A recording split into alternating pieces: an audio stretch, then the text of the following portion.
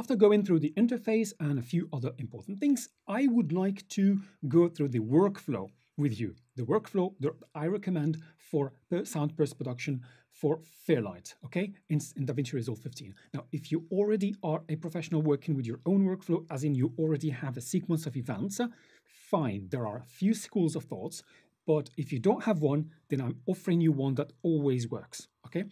So the absolute first thing to start with is always to have clean clips, clean sound. So denoise. And I will open a bracket here. Denoising happens during filmmaking.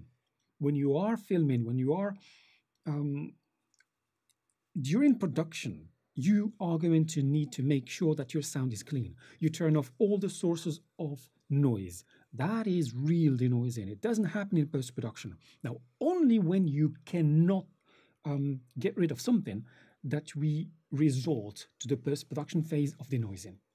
All right, so that's why I have here noise reduction effect and noise gate. These are two post-production techniques for redu redu reducing noise. You can reduce noise also using EQ. EQ is actually a wonderful possibility, uh, sorry, uh, tool uh, with uh, offers you plenty of possibilities to um, do plenty of things, and I'll explain what that is. Equalizer, EQ.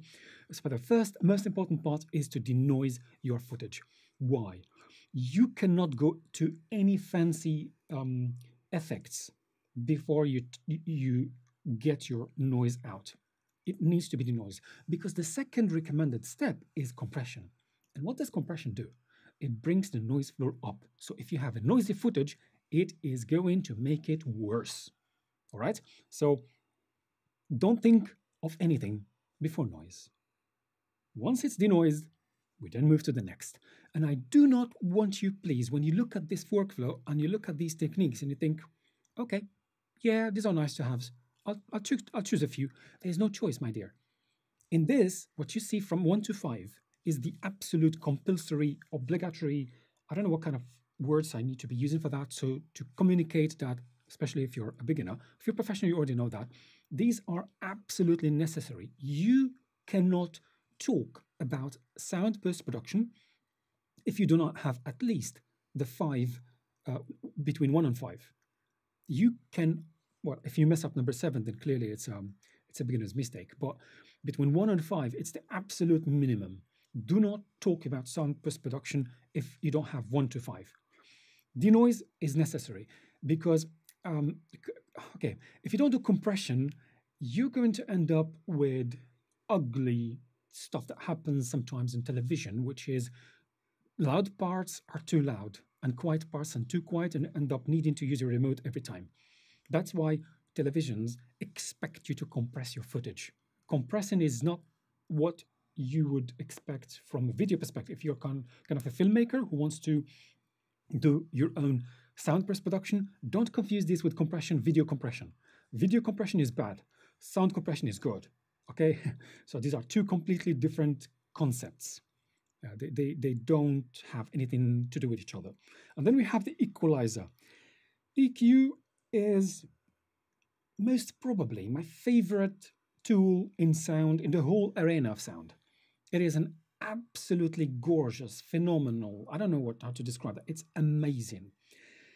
I'm not. I don't mean the EQ that you have in Fairlight. I mean the EQ as a concept.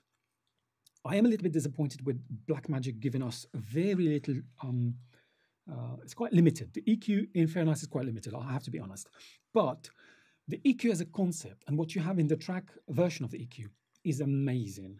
It, it can do it can do a lot of stuff. It change it can embellish your voice. It takes away all the rubbish from your voice.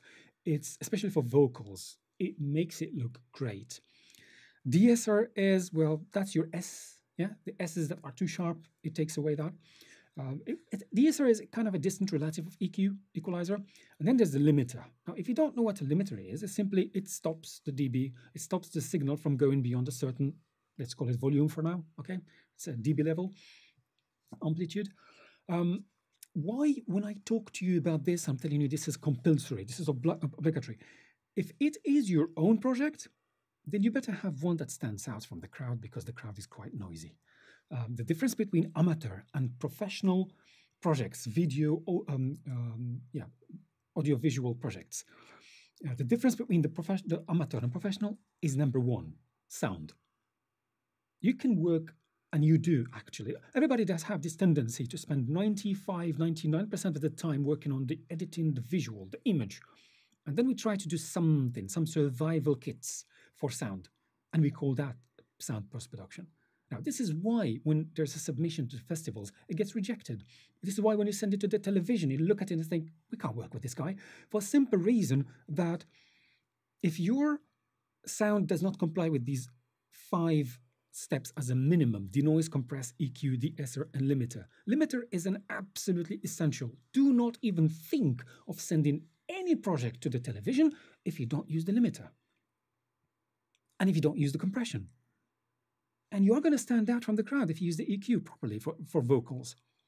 Okay? And the de-esser is necessary. So we're talking about all of them are necessary.